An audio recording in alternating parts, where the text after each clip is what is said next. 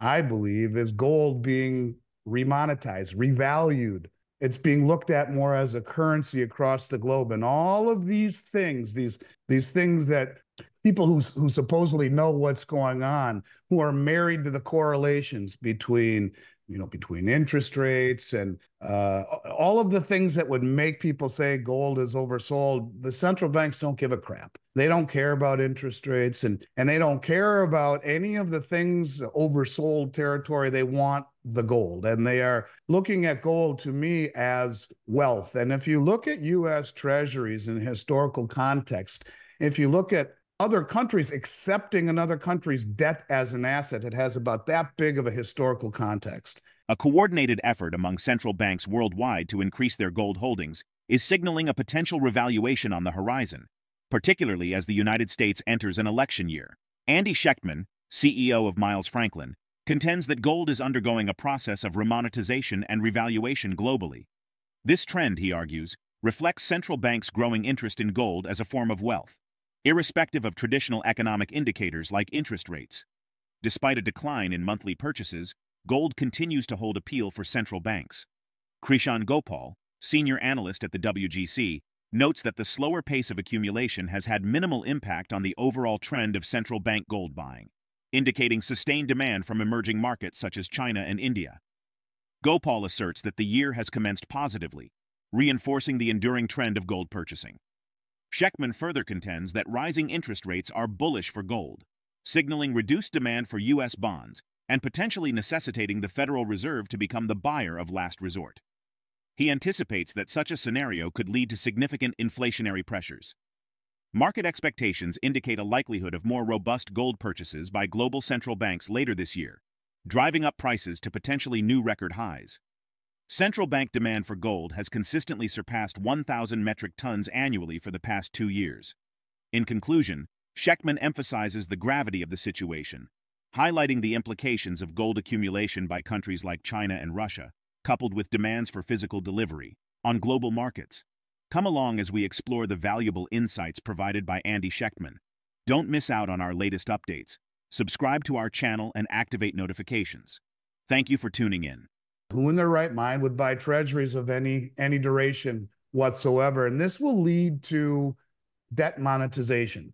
And as rates continue to go higher, it's actually very bullish for gold. And normally it wouldn't be, right? Because there's a term in economics called Gibson's paradox, which is the inverse relationship between real interest rates and the price of gold. And you know, people are saying, well, geez, you know, it's crazy. Gold's gone up in the face of rising real interest rates. Well, it's really not crazy at all because to me, it is indicative of the world central banks dumping treasuries, which makes interest rates go up, pushes down the value of the bonds. So, who's buying the bonds? Well, ultimately, no one will want to buy any duration of a government that is broke, that is insolvent, that is addicted to spending, that is weaponizing the dollar, that is viewed as completely and totally hypocritical. And so, in a normal environment, high interest rates are bad for gold because gold yields nothing. In comparison, now high rates are actually good for gold because, and I think very few people understand this because what it to me means is, is that the world doesn't want our bonds anymore. And there's only one buyer left, and that would be the Fed. This leads to monetization of assets. It leads to monetization where the Fed has no choice but to be the buyer of last resort, to buy the bonds, um, and ultimately leads to massive inflation, which leads to higher rates. They're they're caught. You see, that's what the world realizes. You see, I believe that the price of gold is now being controlled more so in the East than it is in the West. Right now in China, in Shanghai, silver's priced three bucks higher than it is here. It's over 31, almost $31 an ounce in China, and gold is about $80 higher. That's called arbitrage. So, what the Chinese are doing is they've been using the suppression of metals that the West does against us by accumulating everything that isn't nailed down. And now they're slowly turning up the heat so that the traders who have access to the COMEX, to the LBMA, and to uh, the Shanghai Exchange will buy in the West and deliver in the East. And you're seeing that as they are 17 months in a row have been accumulating. And there was just a report that came out, I think by BMO, uh, Bank of Montreal, where, where they came out and said the numbers that we see coming out of China and Russia are for sure way less than what they really are. Well, no crap. Duh.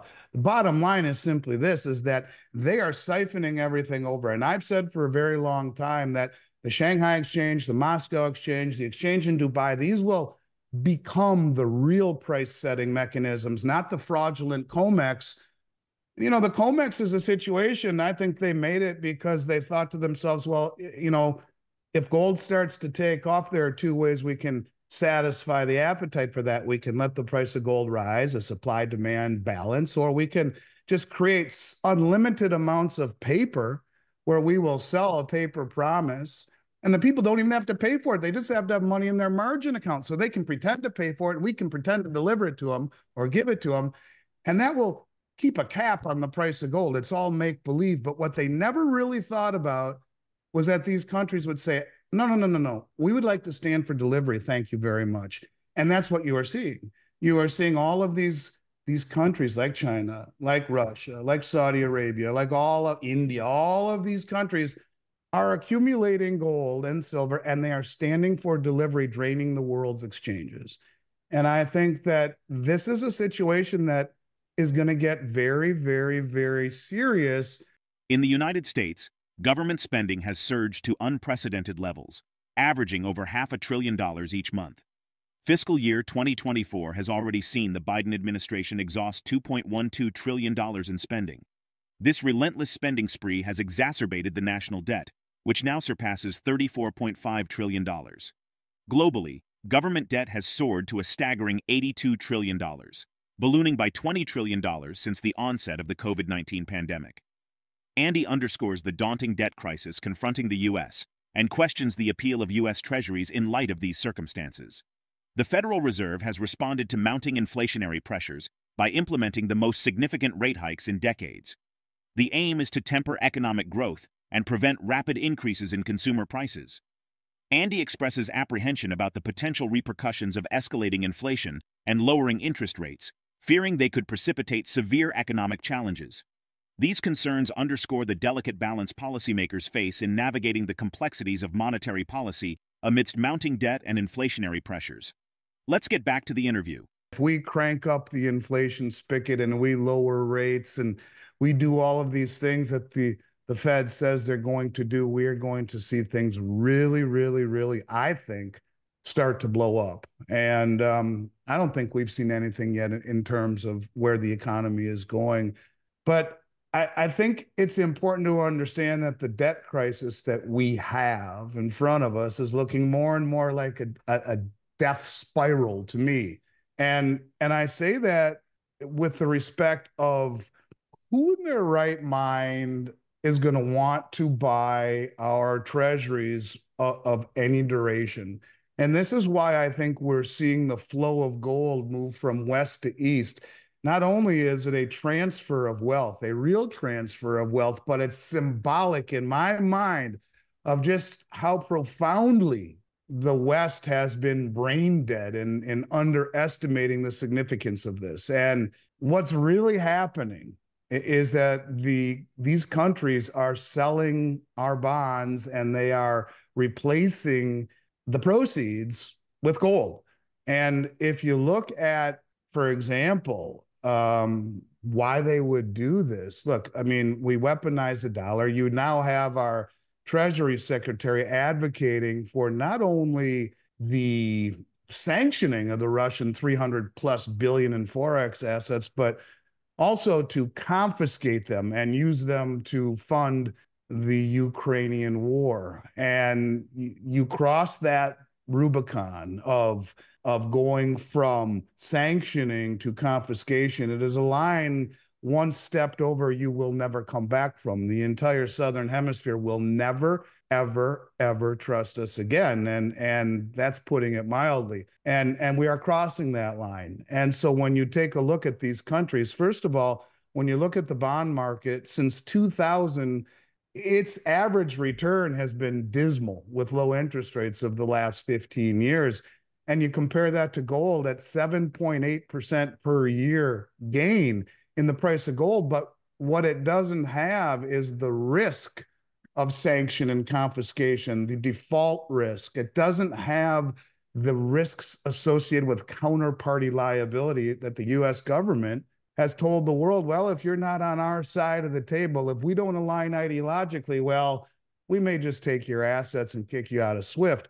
What you are seeing happen right in front of you, I believe, is gold being remonetized, revalued. It's being looked at more as a currency across the globe. And all of these things, these people who, who supposedly know what's going on, who are married to the correlations between, you know, between interest rates and and um, uh, all of the things that would make people say gold is oversold. The central banks don't give a crap. They don't care about interest rates and and they don't care about any of the things oversold territory. They want the gold and they are looking at gold to me as wealth. And if you look at US treasuries in historical context, if you look at other countries accepting another country's debt as an asset. It has about that big of a historical context. And when you look at gold, an asset that carries no counterparty liability is is an asset that at the same time has no no risk, if you will, um, based upon our actions as of late. I think things are just getting started. Investors are turning to safe haven assets amidst economic and geopolitical instability. Forecasts anticipate that ongoing moderation in inflation and jobs data will reinforce expectations of Federal Reserve rate cuts, prompting additional inflows from discretionary funds and ETF holders.